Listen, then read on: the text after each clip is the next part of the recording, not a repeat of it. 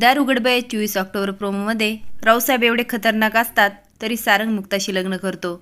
ते बघून आर्या रडायला लागते आणि प्रतापराव भडकतात.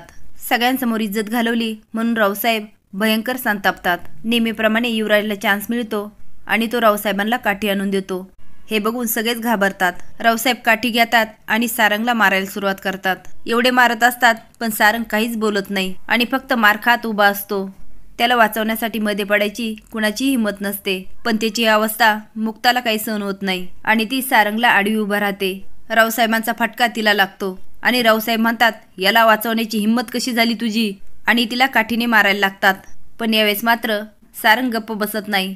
तो दादांची काठी वरच्यावर पकडतो. हे बघून तर रावसाहेबांचा पारा अजून चढतो. वैजयंती मात्र घट्ट डोळे झाकून उभी असते. पण मुलाला मारत असतानाही ती वाचवायला येत नाही. तर तुम्हाला काय वाटतं? काही झालं तरी वैजयंतीने मुलाला वाचवायला हवं होतं का? हे कमेंट बॉक्समध्ये नक्की सांगा. नवीन व्हिडिओ बघण्यासाठी लाईक आणि सबस्क्राईब करा. धन्यवाद.